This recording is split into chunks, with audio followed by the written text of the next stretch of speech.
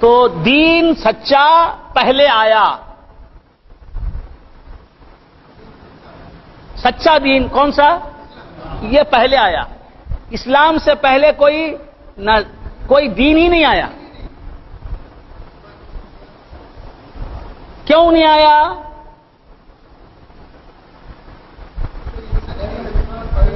खाली पंखों की आवाज़ आती है।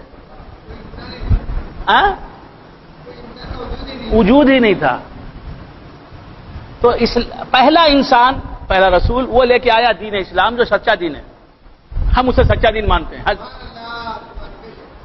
हज़रत आदम से लेके हज़रत खातम, यानी जनाब मोहम्मद रसूलुल्लाह सल्लल्लाहु अलैहि वसल्लम तक, सब पैगंबर दीन इस्लामी को पेश करते रहे। हुजूर भी इस्लामी को पेश करते रहे।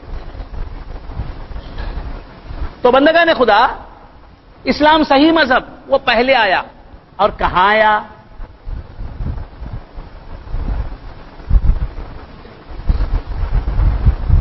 मक्केले इल्ले।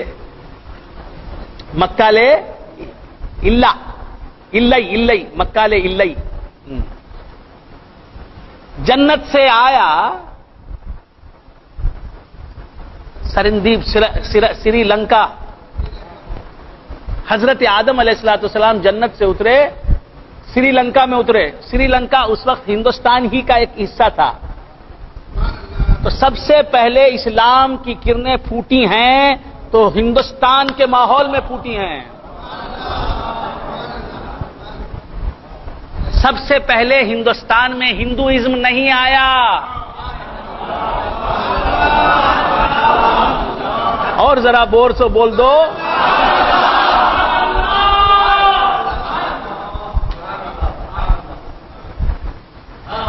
सबसे पहले हिंदुस्तान में हिंदुइज्म नहीं थी। No Hindu was there in India Hindu कोई था ही नहीं। सबसे पहले आया तो सबसे पहला रसूल आया इस दिन। और रसूल आया? कौन आए? जब दुनिया में सिर्फ़ हिंदुस्तान ही नहीं, बहुत गौर से सुने, सिर्फ़ हिंदुस्तान ही नहीं, पूरी पूरे ग्लोब पर जब इंसानी वजूद ही नहीं था ह्यूमन बीइंग कोई था ही नहीं। उस वक्त सबसे पहला ह्यूमन बीइंग श्रीलंका में उतरा है। वो श्रीलंका इंडिया में शामिल था।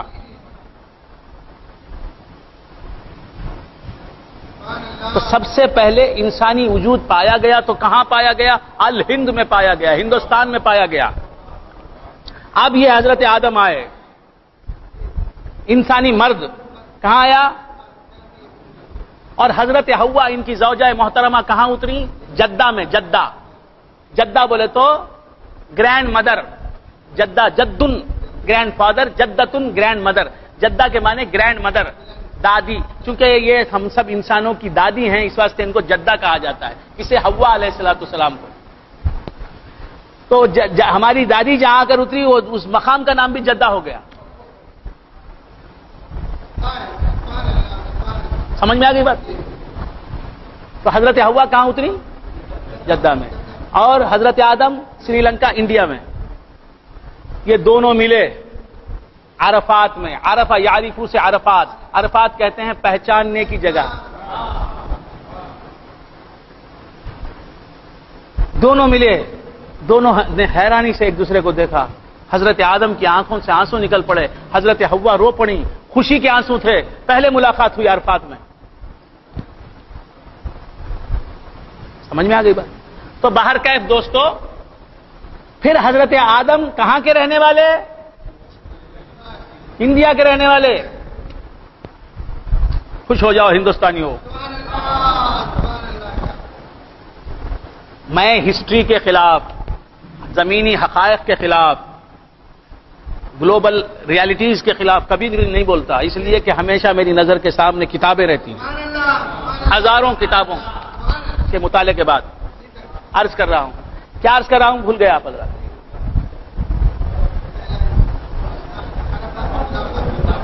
हिंदुस्तान अल हिंद अब ये हज़रत आदम सलाम मुलाकात करते हैं अपनी जौजा से कहा? अब फिर जौजा को कहाँ ले आते हैं? इंडिया में। कहाँ ले आते हैं?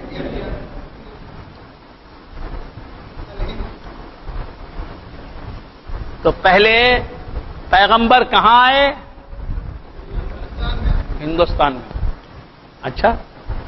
इसीलिए अयोध्या जो है, अयोध्या, जहाँ बाबरी मस्जिद थी और शहीद कर दी गई, आपको मालूम है ना, मैं, अब मेरी तकरीर पॉलिटिकल लाइन में चली जाएगी। पॉलिटिक्स से हमारा कोई कोई दखल नहीं। फकीरों को पॉलिटिक्स, पॉलिटिशियन से कोई ताल्लुक नहीं। हम फकीर हैं, दुर्वैश हैं। हम हैं हमारा परवरदिगार है। हम हैं हमारा रसूल है।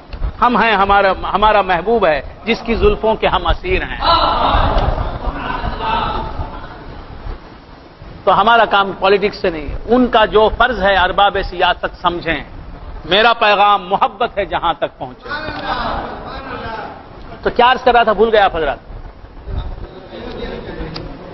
अयोध्या में जहाँ बाबरी मस्जिद थी, अब जहाँ मलबा भी नहीं है बाबरी मस्जिद का, रबिश भी नहीं है वहाँ, जहाँ मंदिर बन गया है। खैर, वहाँ से कुछ कुछ कुछ फासले पर एक खबर है, हज़रत शीस सलाम की खबर।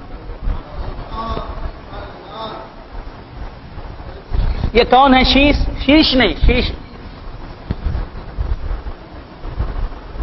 अल्लाह के लिए शीश ना कहिएगा। शीश। शीन ये से, से। शीन या सा। शीश कैमल वालों ने उसे बिगाड़ के शीत बना दिया। क्या बना दिया? शीत। हदीस को हदीत बना दिया।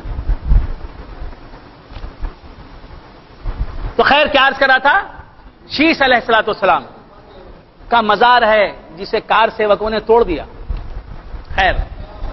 उसका ताबीज जो था उसे तोड़ दिया, उसके ऊपर का हिस्सा तो ये ये बताता है, अयोध्या में, हिंदुस्तान के एक इलाके में शीश सलाम जो हज़रत आदम सलाम के डायरेक्ट फर्जन है, उनका मजार बताता है कि हज़रत आदम कहाँ है?